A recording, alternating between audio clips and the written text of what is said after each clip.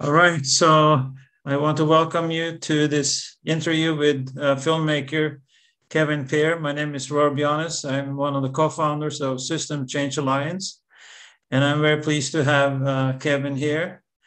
Kevin Peer has been a filmmaker for the past 35 years. He has worked for, as a filmmaker for the National Geographic Television, the US National Park Service, and also as a freelance documentary filmmaker.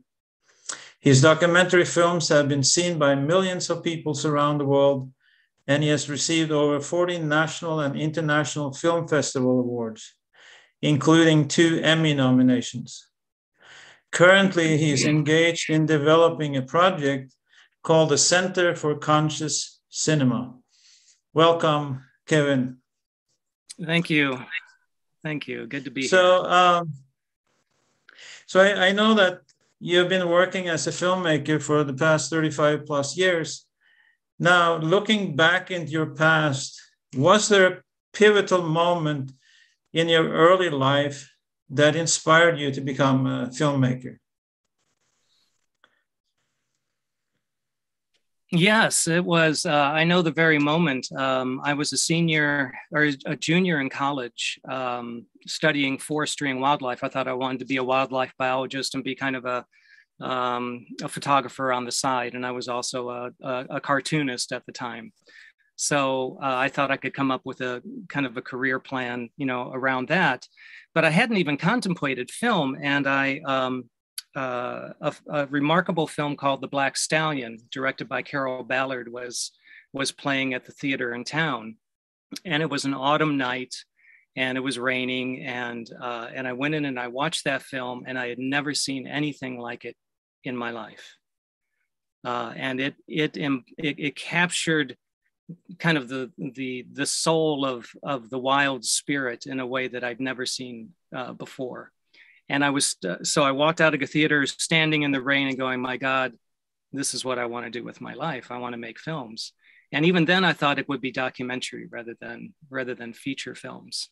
Um, so that was it. And it was also uh, being a photographer. Um, I had entered some of my work in a campus uh, exhibition and won some of the top prizes. And the person who bought a couple of the photographs in that exhibit was a professor of um, psychoneurobiology. And um, we became friends, and he was a, a, Zen practitioner and a Jungian, and you know he was a brilliant man. And um, he he was the one who actually suggested documentary films. He says, "Well, you like to write and you like photography and you love telling stories and and you want to make a difference in the world. Why don't you make films? You don't you don't have to just try to do one of them why don't you make films? And so that was a big aha moment that uh, that could be a, a, viable path for me. And so that was mm-hmm. the that was the beginning. I never uh, i took a couple of classes that were available in college but there wasn't a film department or anything so essentially i'm i'm self-taught but i managed to get an intern position with the National Park Service uh, right after graduating, and um, and then things just took off very, very, very quickly. Mm-hmm. So you you you work for the National Park Service, uh, creating documentary films. Is that right? Yes. Yeah, I made uh, three films for them, and they were the uh, the visitor center films. So you know, you drive into the national park, and if you go to the visitor center, and most of them will have a little amphitheater, uh, and uh, and there'll be some kind of an orientation film. And with all three of those films, um, particularly the last uh, two films that I did, you know, I tried to make them very um, very timeless in a way, because the tendency tended to be to make films that showed sort of park activities and various things like that. And and they would be dated after about three years you know and and it was kind of silly to go into a national park and to watch a film and with hairstyles and clothing styles and talking styles and even filmmaking styles from you know a long time ago really. So um, that was kind of the beginning of me wanting to look at storytelling from a deeper uh, perspective. And because of that, the free, three films that I made Everglades National Park, uh, Denali National Park and Preserve in Alaska, and uh, Crater Lake National Park in, in Oregon all three of those films were visitor center films for um, over 20 years in those parks. Um, so they got their money's worth, you know, because they agreed to really talk about the timeless aspects of, of uh, wilderness and, and those particular places. Um, so yeah, that was, it was, and it was such a great, great honor. I mean, it was extraordinary to, you know, to be in those national parks and to know that that the love of place, if I could tra- if I could translate it successfully, you know, would um, ultimately, you know, have a benefit for those parks because people want to protect what they love. And if I could help to elicit love or, or even amplify the love that they already brought to those parks, then um, they would, you know, very likely be involved in in helping to prevent, you know, threats from happening to those parks. So. Mm-hmm. Yeah, I remember when I was living in Oregon, as a matter of fact, I watched the Crater Lake film that you did. And I was so struck uh, in the beginning of the film, you know, because you had brought in this beautiful cosmology, all the natives living in that area, and, and sort of the mythical history of the film and, and the cultural history. And that to me was so powerful. Uh, maybe you can share a little bit about that, uh, your thinking behind that, and also maybe a little bit about Crater Lake itself, because it's such a magical place. Mm, boy, it sure is. That, and that was my introduction to Oregon in 1983. Uh, was um, mm-hmm. was getting the assignment to film a Crater Lake, um, and I arrived uh, like February 6th, something like that, and there was 16 feet of snow on the ground at Crater Lake. No exaggeration. There was 16 feet of snow on the ground when I arrived in February. And when I kind of uh, finished the winter filming in April, there was 22 feet of snow on the ground. So it was really, um, it was real. It was like a parallel universe there, you know, because it is so powerful. It's so vast. It's so mysterious. It definitely carries a very, very strong energy and you know, the first thing that I did, I, I knew that the park uh, service people at Crater Lake National Park had this idea for a film about showing boat rides and you know the various touristy things that you could do and something about the geology of how the lake formed.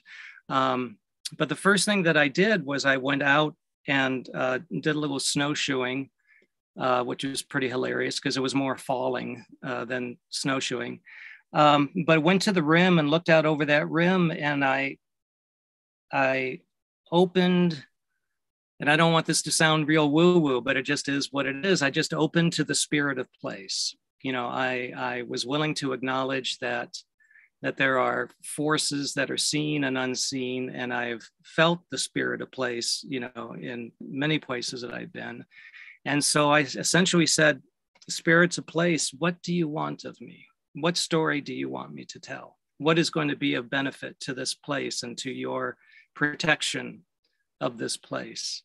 And the idea immediately came tell, tell the native story, tell the story uh, of, the, of the creation of this lake, you know, honor the spirits of place. And, and so that's what I did. And, and I was, um, so I did a lot of research uh, in the local library. This is before the internet. Um, and um, and in the library at the Park Service, they had some historical documents uh, from the early um, uh, whites who had been in the area and what their impressions were, and their early conversations with some of the uh, Klamath peoples who lived in the area. Uh, and mostly they were very tight lipped, you know, because times were very, very bad for them. And they're not going to just tell their secrets and their stories, but they found somebody who they could trust. And that's what got written down. And it was this, there was a story of a great battle between the spirit of the above world and the spirit of the below world.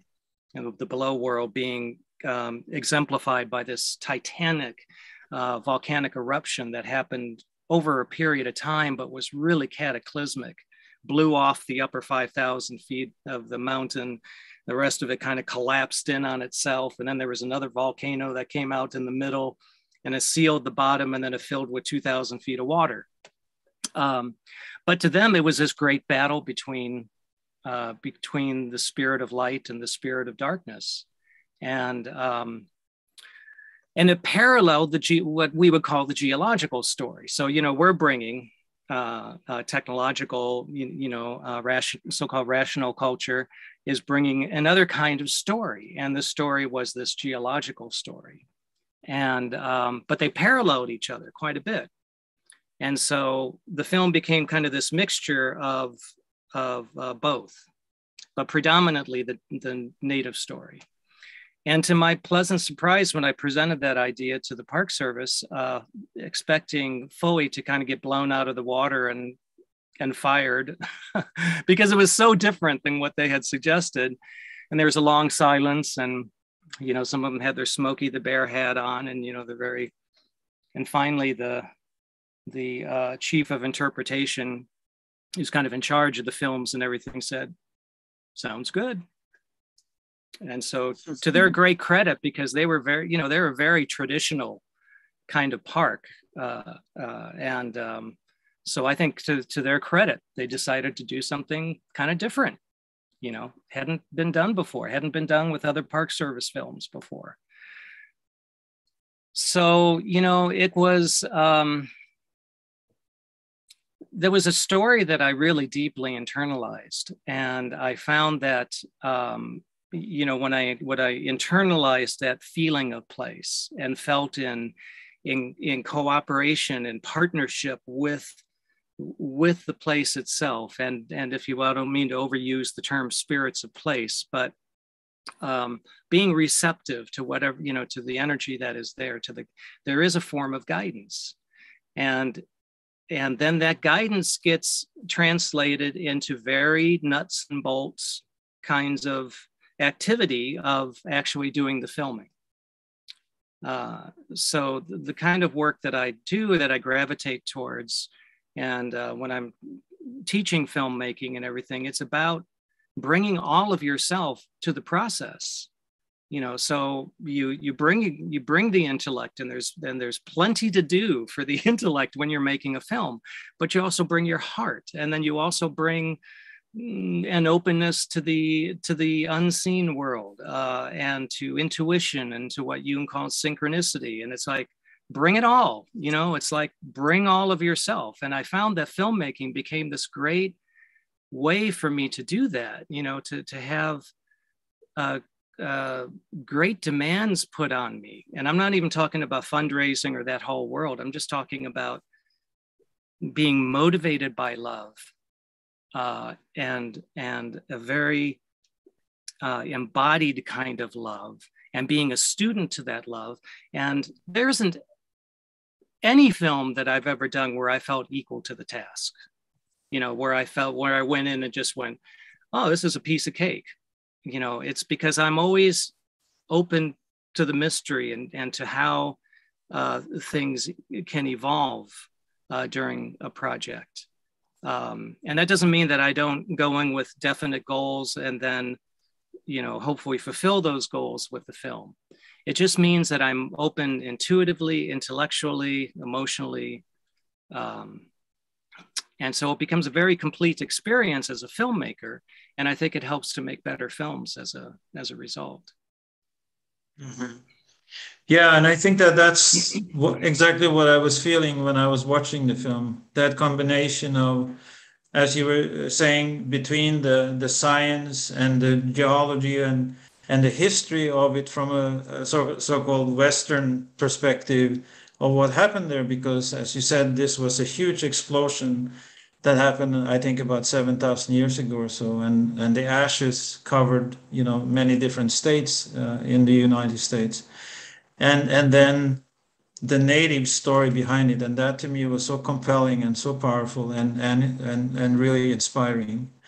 So after working for the National Park Service, uh, did you then move on to doing other projects? Uh, is that when you when you started working for uh, National Geographic?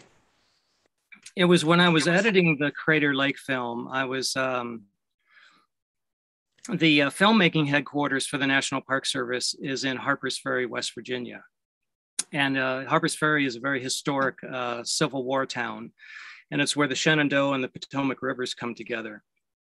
And during the Carter administration, there was a good amount of, of uh, funding available for the Park Service. And there was a series of people who um, who said were real visionaries and said, let's get the artists and the writers and the architects and the designers and all these people, let's get them out of Washington, D.C., get them away from the bureaucrats and put them in an inspiring location where they can do their best work.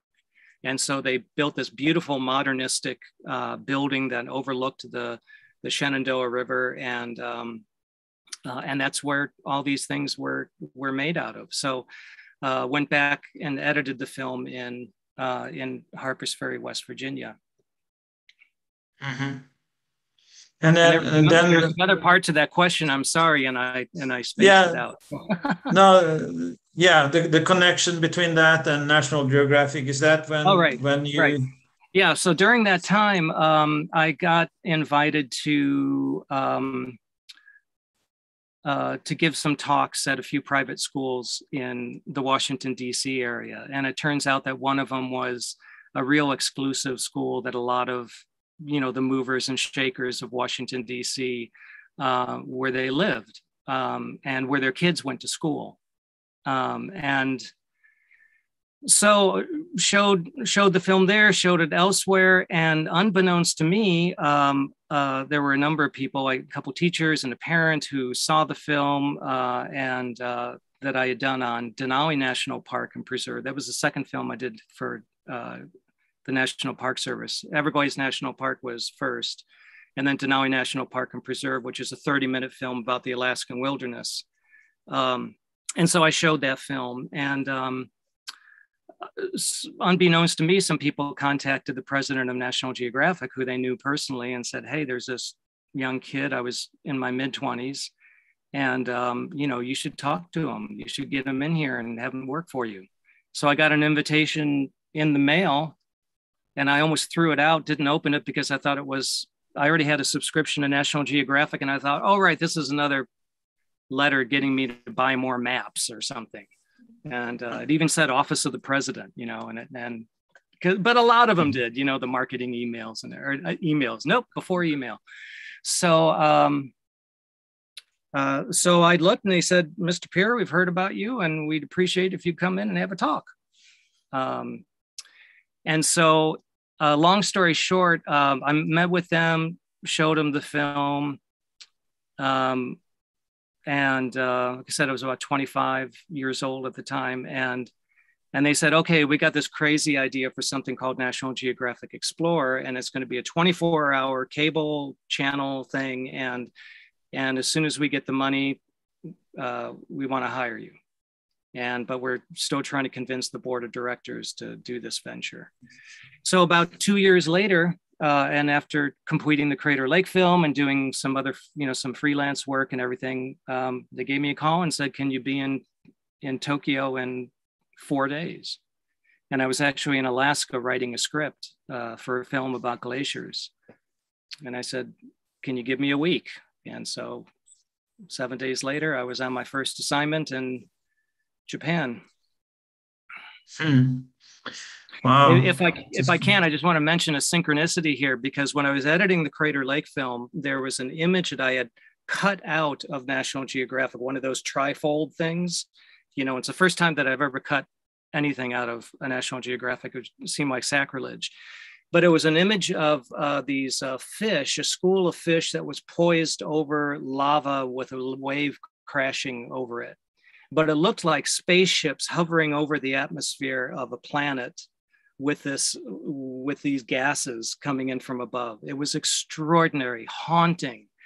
And i used to just lay there when i was resting and look at that image and look at that image and just feel it and the mystery and the beauty and the power of it. And um, so the when national geographic called me and asked me to go to japan the assignment was actually for uh, uh, filming an underwater photographer who had taken that image that I had been looking at. And I ended up filming on a cliff from where that image was, was taken. So you just never know. So synchronicity does happen. It so uh, when when you were in uh, in Alaska, um, and you know most people know that in Alaska there are grizzly bears. They are huge. Um, they they can be fer- ferocious. Did you ever have any close encounters with grizzly bears when you were up there? Yeah, quite yeah, quite a few, quite a few. I was really, really lucky. Um, you know, national park, you're not supposed to carry a weapon, um, and um, so I, I, I carried a. Um, um, it was a smoke flare, and it was like this wooden handle and you'd have to take take the cap off and strike this thing and then there'd be this intense orange smoke that would go on for a while kind of a military grade one. And i had this fantasy that if i ever ran into a bad situation with a bear i'd just go and then smoke it out and run the other way. Um, but i had um, i had many encounters with grizzlies because when you're in grizzly country, you sh- to really be safe, you need to make a lot of noise because a lot of attacks happen um, when uh, when a bear is surprised, and it can be a lone bear or it could be a sow with cubs, a female bear, you know, mother bear with cubs, uh, and oftentimes those attacks are not fatal, but you know they can mess you up permanently. Um, mm-hmm. Those kind of attacks, usually they knock you down, they bite you a few times, and sort of like going, How dare you surprise me like that? Slap, slap, mm-hmm. uh, and then leave you alone. But you can also run into a bear who has just um, made a kill. And that is one time when it is usually a deadly encounter. Um, mm-hmm. And it happens every year, and it happens with hunters. And in some areas where, um, you know, of course, outside of national parks, they've uh, the grizzlies have gotten to where when they hear a gunshot, they will head in the direction of the gunshot, and they know that they're likely to find an animal. Uh, and when they do, they they try to take it. And if a hunter shows up, they'll sometimes kill the hunter. So very dangerous. Um, one of the most vivid uh, encounters was um, being in an area that was actually closed to the public but was open to me. Um, the the snow and the ice was still melting. It was very treacherous to try to uh, navigate around, and I was looking for a group of um, uh, Dall sheep because um, it was the it was the birthing season for Dall sheep for these beautiful sheep with the long uh, curving horns, and um, so I found this group of sheep, and there were these ewes, uh, who the female sheep, who were like in this little group, and they, a couple of them were pregnant, and you can just see the the they were just ready to give birth, and the biologist and everything said, you know, any day, any minute now, and um, so I thought, okay, I'm gonna I'm gonna film this because I know also that that's a very vulnerable time for those animals, and it's likely that a wolf or a grizzly or a wolverine or some kind of predator predator would um, uh, could show up. Um, so long long story short, um, ended up finding a grizzly that um, we saw the grizzly, we saw the these pregnant sheep. The grizzly ran up this gully. Uh, the sheep didn't see it until it was too late.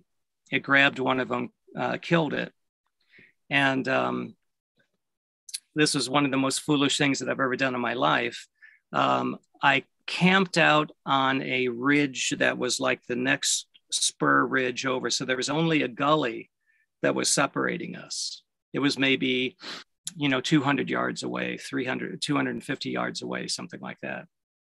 Uh, woke up in the middle of the night to the sound of bones crunching and flesh tearing and and realized that I'd made a terrible mistake. If the wind direction changed, I was very likely dead. The next day, the grizzly, the wind direction did change, and the grizzly hunted me and um, and two young fellows from Switzerland who were helping me carry gear, and it hunted us the entire day, and um, we just barely escaped uh, and managed to make our way out before dark.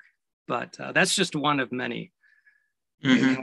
with with grizzlies. I feel very very fortunate, you know, to to be alive. Yeah, yeah, yeah. Well, I'm glad that you managed to escape.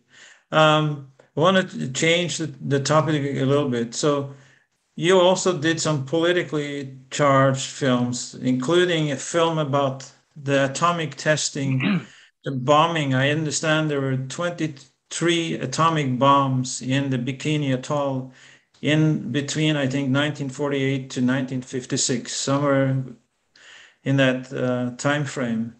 And you went there. I, I don't remember exactly when you went there, but you did a film about that. Very sensitive issue, politically highly charged. And at the same time, you had to deal with the natives that had been, um, you know, uh, some probably fatally uh, affected by the atomic fallout. Uh, many people were sick and so on, and then they had to be relocated. So in a situation like that, how do you approach? Uh, you know, it's a huge project, very sensitive. How do you approach uh, making a film about something like that? Well, of course, it depends on um, on what kind of film you're trying to make, um, and um, the um, there had been, um, yeah, basically shortly after World War II, you know, the U.S. wanted to um, to you know get out ahead and to remain ahead of the nuclear, what was the beginning of the nuclear arms race. And they looked for a place uh, in the Pacific that was under US control, that was as remote as possible. Uh, and they chose uh, the Bikini Atoll in the Marshall Islands. Uh, they promised under a UN trusteeship agreement to uh, not harm their islands and to give their islands back when they were done. Um, but they were basically forced out, not exactly a gunpoint, but um, that was the implication, you know, and pressured them and pressured them to, and they moved them to another atoll, but they miscalculated how much um, food the Bikinians would need. And there was a misplaced decimal point that um, made all the difference. And so they they uh, they went to this atoll, and um, and then they were starving within about a year. Um, and the government kind of went, "Oops, okay, well we'll take you down to this island called Kili." And Kili was uh, in the middle of the ocean, no atoll, no protective ring, you know, a coral around it, no beautiful, calm lagoon for fishing. It was just wild ocean, shark infested waters. Um, so that was where they were trying to live. They were completely dependent on USDA, you know, food, canned food, um, because they couldn't really fish, uh, and um, it was a terrible situation. Um, but they they did manage to find a very savvy lawyer and this was his first case. He was just out of law school was starting work um, was kind of given this assignment, and the and the uh, the law firm I think had no idea how big this thing was going to get, and he really rose to the occasion, and he managed to get millions of dollars of restitution for them. But what the islanders really wanted was to return to their atoll and for the US to clean it up. So there's a lot of anger, there was a lot of mistrust, um, you know, in a way that most a lot of people in the government were trying to do the right thing. Some of them weren't. Um, so it was very charged. And when I, um, the challenge was how do you make a film about this and what, and National Geographic was a little bit nervous because they'd never done a, a film that had a political charge to it before. Um, basically, you know, I went over there, I filmed for several weeks and uh, interviewed Bikinians, et cetera. And uh, that in itself was very challenging because they had very, very strong preconceived ideas about um, what the film needed to be. And it was based on talking points that they had successfully used with the media in the past. So I'd watched every film or every news clip or anything, you know, that had been done on the Bikinians before, just as part of my research beforehand. And what I noticed when I started interviewing some of the Bikinians, and there were only certain people I was allowed to talk to, that they were saying the same thing that they had in these other films or the or these news clips. And so I wanted to go deeper. I wanted to go deeper into the into the suffering. I wanted to, I ultimately wanted because they needed more money. And they they wanted the government to write a blank check to clean up their islands as they had promised. Uh, or actually they had promised that they weren't going to harm the islands. Um, so they said, look, this is your problem. This is what you owe us. Um, and you know, if it takes $50 million to do it, then that's what you've got to do well, they weren't, the, the government wasn't there yet in, in providing that much money. Um, and so the Bikinians were, were angry about it. And I wanted this film to be able to convince members of Congress and the public and everything else to, to pay for the total remediation of, of their island so they can get rid of the radiation and return and live there safely. Um, so one of the challenges was how do I get more depth from the Bikinians themselves. And I found that it was really challenging because they were, they had a formula and they wanted to stick to the formula. And I kept saying, no, that's not, that's not going to cut it. You know, the, the people that are going to see this film have probably seen these other films. So I need to go deeper. I actually need to go deeper into your suffering. Um, when you looked at the Bikinians, you know, it, it, there was a, a terrible obesity problem because of this this uh, high starch, high sugar food that they were given by the government. Um, but they looked pretty prosperous. I mean, they had cars on this little island, their clothes, you know, the kids were laughing and they were happy. And so I was like, you know, going around like, okay, these don't look like people that are suffering. Of course, they're suffering internally, but how do I represent that visually?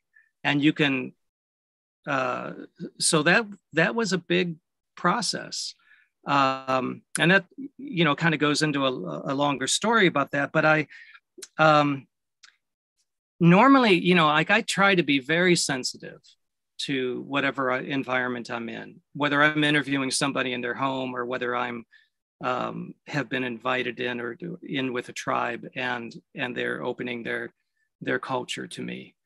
Um, but this was a situation where I had to take the risk of the Bikinians even disliking me in order for me to emerge from there with the footage that I knew was going to get them what they or was would likely get them what they wanted. Because a story that powerful could really move people the government to give more money which is ultimately what happened.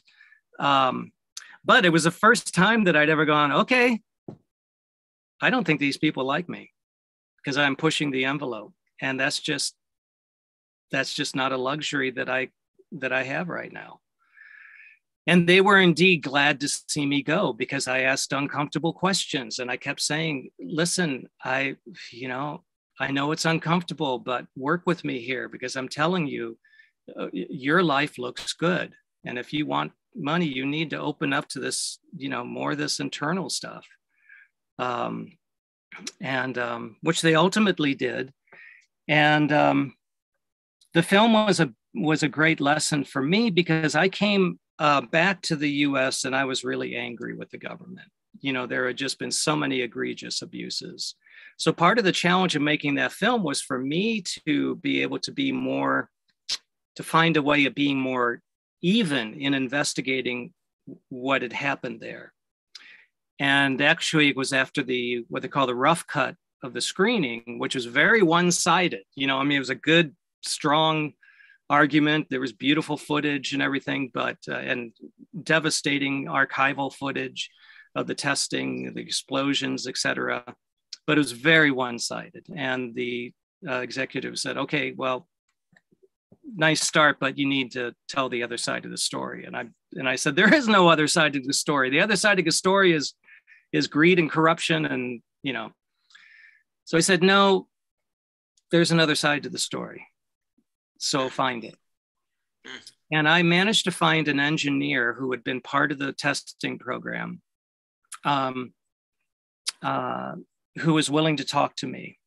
And he carried a lot of guilt about the testing and what happened but he was able to say, look, the Cold War was so intense, and we were genuinely uh, frightened. We genuinely thought that if we didn't get the upper hand in this nuclear uh, genie that was out of the bottle, uh, now that you know China and Russia were, were pursuing and had the bomb and even had the hydrogen bomb, um, um, it was like an existential threat.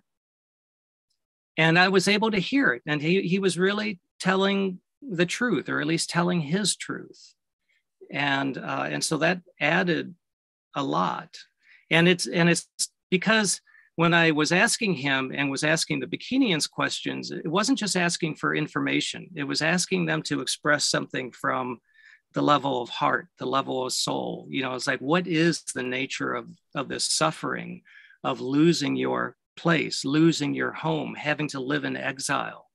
Um, and um, uh, and that's asking a lot of people that's asking a mm-hmm. lot for somebody to, to yeah. bear you know to bear their heart to bear their vulnerability like that yeah uh, and yeah. likewise in dealing with people that a part of me could say is almost like the enemy or the adversary it's like no there's a there's a perspective and a lived experience behind it so um, i also interviewed mm-hmm. somebody else from the state department who was one of the people making decisions about how much money they would have and uh, and he was a real jerk of a bureaucrat. I mean, he was like uh, reptilian.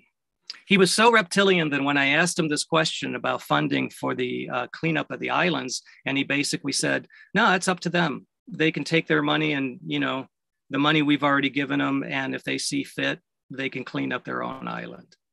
And he said it was such a cold kind of he did this little sniffle at the end. He was wiggling in his chair. He was sweating. He was, you know, and afterwards I said, so and so, I'm not going to say his name, you know, but so and so, I really giving you an opportunity here, you know, to express yourself, the government's viewpoint, or, you know, deep reasoning. But, and frankly, what you just said kind of makes you sound like a total jerk. And he looked at me, he said, That's, I've already said it so take it or leave it. Mm-hmm. And, and, so you so kept that you kept that in the film.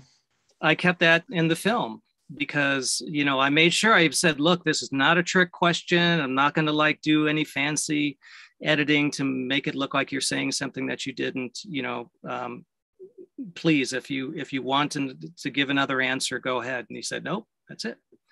So it's a very striking moment in the film because that he he represents that whole kind of Machiavellian reptilian aspect of of the of government decision making, um, and um, shortly after the yeah. film screened, he lost his job. I heard uh, he was no longer the yeah. spokesperson for that department. Right, um, right. Probably no accident. So. Um, yeah, that's that's a wonderful story and, and wonderful insight into all that goes into uh, making films, uh, documentary films. Um, we have we're getting some questions from the audience, and we're going to take them uh, towards the end of the interview. I wanted to ask you about another film that I saw, one of the most inspiring documentary films I've seen uh, in recent years. Uh, I'm talking about my Octopus Teacher, uh, which won the Academy Award for Best Documentary. Uh, what what is your impression of that film, and and why do you think that film was so compelling and, and inspiring? Well, it's one of my very favorite films of all time, of any kind of film.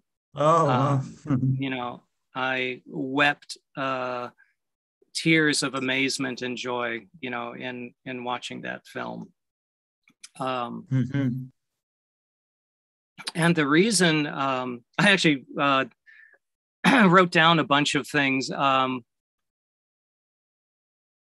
it provided uh, wonder, um, a, a, sense of rarity, overcoming inner and outer adversity, openness to being taught by another creature uh, Craig Foster, the main character, went from being, you know, burned out and very fragile to being healed as a result of, not as a result of, hmm, how to say it. He, he healed as a result of a relationship, not as a result of going out and doing something that was interesting to him. he healed as a result of a very real and intimate relationship with this other intelligence. And it's one of the very few films, maybe the only film that I have seen about uh, other creatures where there was that sense of deep intelligence and awareness um, on the part of another creature. And so there was this part of the like the, the tears of joy that i was that i was feeling was there was this sense of a erasing of the artificial um, separation between humans and other creatures. You know we most of us we carry around this great burden of aloneness because we feel uh, we've been taught that we're separate from nature, which of course is ridiculous, but we've been taught that, you know, and our everyday experience uh, uh, um, can exemplify that. And and uh, particularly the more that we engage with, you know, with our phones and the devices and the way that that's reshaping our brains, um, it leads to a further and further sense of of separation. So the film was remarkable in providing these moments where you're going, this Craig is actually being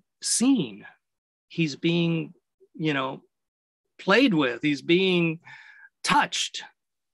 Uh, he's he's an object of curiosity by this other creature, you know. And then the whole trajectory of the story of the uh, of the, the the the poignant fact that this octopus lives, this female octopus lives one year, you know, or inside of one year, and she's gone and you know watching her sorry this is a spoiler for people who have watched who haven't watched it. Uh, you can hit the mute button for just a minute there. Um, you know seeing her getting kind of taken apart you know uh, and and the great sense of sacrifice like a salmon in a way this great sense of sacrifice where she stops eating and she's just there nurturing the the eggs for her young. And um, uh, and that accepts death when it comes. Um, of course, not earlier, you know, when she's when she's running from the shark and and actually hiding and calculating and everything. So just on so many levels, from an artistic level, it's gorgeous. The cinematography was superb. The editing, you know, they had some very very uh, top-notch editors. Uh, so every aspect of it was really well done. But at the basis of it was a tremendous respect for uh, for the subject matter, you know, for this creature's life that they were exploring, and for the life of of Craig Foster, you know, the the uh, the main character in the film. So, mm-hmm. yeah. So, uh, in your time as a filmmaker, has there been any other filmmakers that have inspired you? Any any specific heroes or heroines that have touched you? I, I know that you just mentioned this film, but have there been other filmmakers? Yeah, in this film, uh, My Octopus Teacher was directed by by um, Pippa uh, Ehrlich and James Reed, and so uh, you know I I bow to you uh, both. Mm-hmm. Um, Alex Gibney, you know, who's a contemporary uh, documentary maker, uh, Taxi to the Dark Side, uh, Enron, the smartest guys in the room. I think he's one of the most courageous uh, film documentary filmmakers out there nowadays. He's tackling the really dark, you know, really difficult subjects. He does it with a lot of integrity. Um, uh, going back, Barbara Kopple, you know, who was one of the early documentarians, uh, did a remarkable film called Harlan County, USA, back in 1976. Um, Werner Herzog, you know, who's become a mm-hmm. great documentary director, and I just, he's just so himself, you know. There's this very particular eccentric way that he uh, relates with the world and has a lot of uh, sense of wonder to his work. Um, Wim, Wender, Wim Wenders, uh, who was mentioned, uh, who we talked about before before the interview here, yeah. uh, did a remarkable film called The Salt of the Earth about the photographer uh, Sebastião Salgado. Um, he also did a, um, a narrative film uh, in the 80s called uh, Wings of Desire, which is an extraordinary film. Um, mm-hmm. Godfrey Reggio is one of my heroes. He did a film back in 1976 called uh, Koyaanisqatsi, and he pioneered. He's more of an experimental filmmaker, really. It was the only. It was the first film that he'd ever done. He'd been a monk for many years, spent uh, you know years and years at a time in silence and and prayer and meditation, uh, and um, so he uh, the whole film pretty much is time lapse and it was a pioneering use of time lapse that had never been done before and taken to this extraordinary artistic level. Uh, uh, the camera work was all done by a man named uh, Ron Frick. Um, and that film, uh, Life Out of Balance, is what Koyaanisqatsi means in Hopi. And that film was absolutely devastating for me to watch. I mean, I literally cried in my girlfriend's arms for 45 minutes after after watching that film. Um, so yeah that's that's the short list. There's a bunch more yeah. yeah. So speaking about the experimentation you know we live in a time of great change uh, uh, in, in a sense a continuous digital revolutionary change which has made it both easier and cheaper for people to make independent documentary films. So does that mean that the whole medium of film is changing or or are there sort of classical grand themes of storytelling that are still there and, and still needs to be there in order to tell a good compelling story? Oh what a great question. Thank you. Um, well i would say both. You know the medium is changing in certain aspects because you have you know like reality tv and you it kind of depends on how you define what a documentary is. Um, and I don't know how to define it anymore um, uh, because it means different things to different people. So we could just say nonfiction film, you know, where you're not dealing with the script and and and actors. Um, so you know, filmmaking is changing in some ways because uh, the attention span uh, tends to be shortening, et cetera. Uh, and so that gives rise to, and, and there's a there's a quest for uh, you know, an immediacy and, um, you know, uh, thrills. And so there, there's one end of filmmaking that's of documentary making that or nonfiction filmmaking that's more commercial, where they're like going wherever the consumer wants them to go. And, um, and the technology is, you know, with drones and everything else is making fantastic imagery easier and easier. But there's still this whole other world, um, thank goodness, of uh, documentary filmmakers um, who are doing these um, substantial stories and are still speaking truth to power.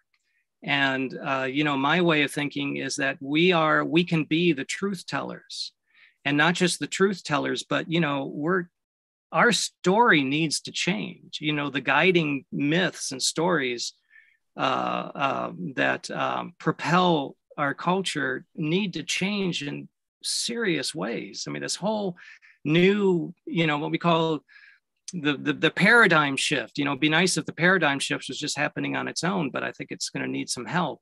And great storytelling has always been, you know, uh, the vanguard of of change. Um, and um, so the, the new technology, the ability for just about anybody to tell a story, um, is it changing the medium? Well, I would say it's providing more opportunities for more different forms of expression. You know, um, three minute films, two minute films, uh, stuff that's just time lapse. You know, drone uh, photography. I shot a film um, about a beautiful, it was an advocacy film to save a, a beautiful place of forest and stream and waterfalls from clear cutting. And almost the entire film was shot on a drone, the first time that I've used a drone. And it was just a wonderful experience because using this floating platform. So that technology was new for me to use, but it was new for me to use, but in the classic, um, uh, in the application towards a classic story. Um, you know, what I, I think genetically, there's something in our design um, to love and to need stories. And so, in that sense, documentary making is uh, is not changing that much because it still comes down to how do you tell a good story. You know, the imagery is getting easier and easier and cheaper, but still, you have to know how to tell a good story. And and that means being kind of a student of, of culture, a student of psychology, a student of of how the human mind works. Um, mm-hmm. So. All right, wonderful. I want to take a question from Parisa, who says, uh, "Can you speak more about being a self-taught filmmaker, and what is your advice to those new to filmmaking and not knowing where to start?" Hmm.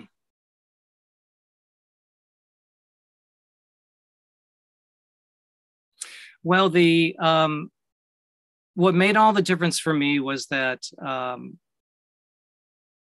I had when I started out in filmmaking, you know, I, I had um, a good deal of familiarity with uh, with still photography and kind of like fine art, black and white photography in particular. Um, and so the notion of of you know composition and and everything was uh, had been drilled into me.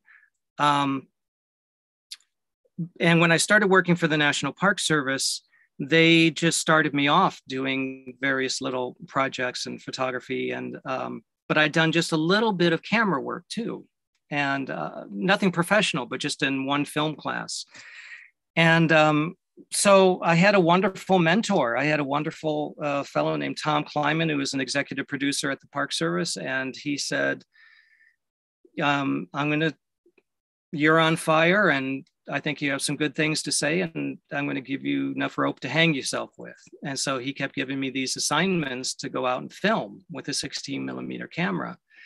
And then um, an opportunity came up to um, to write a script for this film about Everglades National Park, and and I got I won that contract, and we kind of went from there. So that was film school for me. Was actually doing it, doing it on the job. Um, that was a lot more difficult back then because everything was so expensive. 16 millimeter film, you know, was really expensive, hundreds of dollars. And then you had to develop it, and then you had to print it, and you had to have a projector, you had to have, you know, it just goes on and on. And so the great democratization of filmmaking now is, um, you know, kind of has taken care of a lot of a lot of that that high entry level, you know, that used to be there because you basically you had to have money um, uh, to to buy the film, um, and the equipment was expensive and the equipment was heavy, and but it was good training. So nowadays, it's I mean, there's film school. There's uh, there are uh, but I'm in the process of creating something called the Center for Conscious Cinema. And the motivation for doing that is to, um, is to provide a way for people to learn the skills of filmmaking that they need. So the good news is it's like you don't need a film degree. A film degree doesn't make any difference. You know, National Geographic never said, um, where'd you go to film school? They just said, let's see your work. You know, let's see, let's see what you've done and so it's uh, filmmaking is very democratic in that way. It doesn't matter what your background is, et cetera. It just matters, you know, can you tell a story? So, um, I mean, my one word of advice would just be start studying the medium, come up with with a little project on your own just to start to test yourself you want to start uh, you know learning interview techniques you know practice on family members create a, a family archive of of uh, uh, you know where you interview one of your um, your parents or sibling or friends or you know whoever. Um, and then if you can find uh, you know a program or a school that kind of takes you step by step through the process i mean that's that's what i'm in the process of designing right now. And it's going to be working on the um, on the inner aspect you know the the intellect the the intuition as well as the intellect you know it's about regarding the because filmmaking is very challenging it's very difficult to do well um, but it's not that difficult to learn how to do it well. Um, and it just takes some some instruction and some some opportunities. So that's kind of the long version of the short version of the answer. Mm-hmm. Yeah, so you mentioned the Center for Conscious Cinema that you're in the process of starting. So maybe you can say a little bit more about that, what your plans are. Uh, are, are you going to invite uh, people to study with you? Are you going? Uh, do you mentor people? Do you work on independent projects? Let's say if someone comes to you with a project, uh, do you take those kinds of jobs? Yeah, I do take um, other jobs if it's the right, you know, the right kind of uh, project.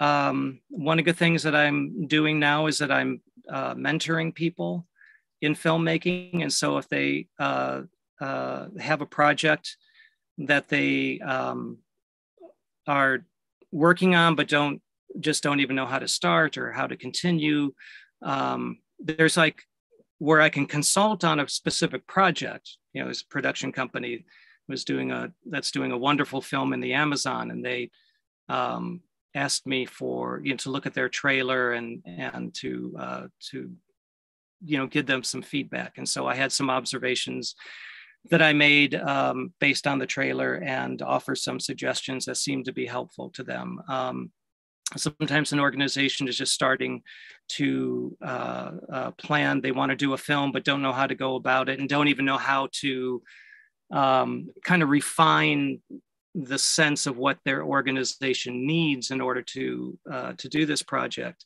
Um, and so I help them with that. Uh, with individuals, it can be people again who have a specific project. It can be somebody who says, "I just want, I want to learn cinematography with you," and so I give them exercises. And and then on the wonder of online, you know, we can go back and forth. I could look at what they've shot. I can comment. Uh, we can, you know, deepen the process. So that's working on an individual basis or working as a as a consultant. Um, and then I'm also, um, you know, in the process of figuring out, you know, the uh, best way to put material online to where somebody will be able to actually go in a very systematic way and to, um, you know, t- to learn step by step the filmmaking process. Um, so I'm still trying to figure out whether that's going to be a series of live webinars or whether it's going to be pre-recorded uh, lessons that I do. Um, I may take films that I've done in the past and show the film and then deconstruct it and uh, to where I show, you know, why I made the different decisions that I did uh, and going, you know, kind of layer by layer. Uh, but the goal is to um, is, is, is to help um, people to develop who have a real love for this kind of storytelling, are motivated by love, are motivated by a sense of service and who are willing even in the presence of you know because it's easy to be angry as an activist. It's easy if you really care to feel really angry. But if you make a really angry film it tends to be a very narrow film. It tends to be you know the so-called singing to the choir. Um, and those films are not as effective. You know they're not invalid but they're not as effective. Uh, it's also really easy to uh, to make uh, propaganda rather than uh, uh, advocacy. So, you know, I talk a lot in in in about um, um, how to developing more of a witnessing presence and to use your intellect and to use your heart. But the witnessing presence lets you know if you're getting too far off into the emotional end of it or not. so, filmmaking becomes a path of awareness. Uh, there's a way of taking the considerable challenges and difficulties and the ways that projects and people and everything can can push your buttons and there's ways of using that as all part of of your whatever your spiritual path is this path of path of awareness really thank you so much kevin it's been a pleasure having you here on oh, thank our you. program today uh, yeah, and I want to uh, remind the viewers and listeners that uh, you can find out more about Kevin's work at wiseoakproductions.net. And, and uh, uh, hopefully there will be updates about um, his project. Um, and also the film here or the interview here will be available for others to see in the next few days and, and online on our website, systemchangealliance.org. So please come back, check out our articles and our work. And again, thank you so much, Kevin Peer, for being with us today. Yeah, thank you for this opportunity. It was good to good to share this time with you. Yes.